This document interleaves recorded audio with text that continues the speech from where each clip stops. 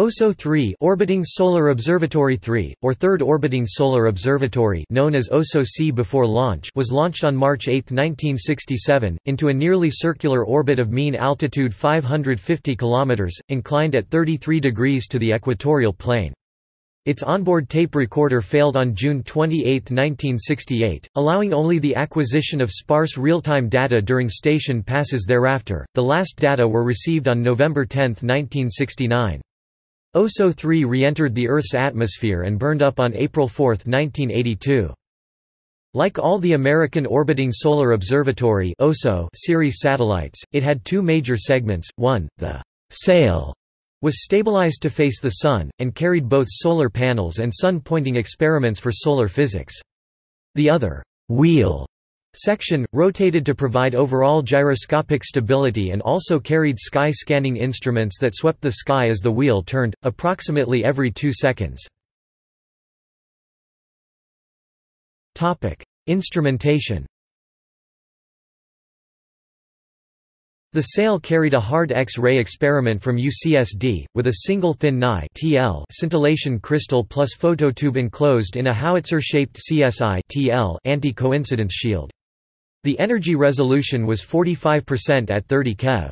The instrument operated from 7.7 to 210 keV with six channels. The principal investigator was Professor. Lawrence E. Peterson of UCSD.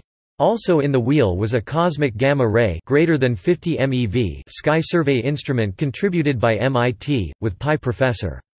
William L. Kraushaar. Scientific results OSO-3 obtained extensive hard X-ray observations of solar flares, the cosmic diffuse X-ray background, and multiple observations of Scorpius X-1, the first observation of an extrasolar X-ray source by an observatory satellite. The MIT Gamma Ray instrument obtained the first identification of high-energy cosmic gamma rays emanating from both galactic and extra-galactic sources. See also. Orbiting Solar Observatory. X-ray astronomy.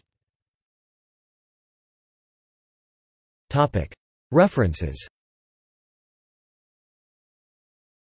Topic. External links The content of this article was adapted and expanded from NASA's HEASARC, Observatories OSO 3 and NASA's National Space Science Data Center, OSO 3 public domain.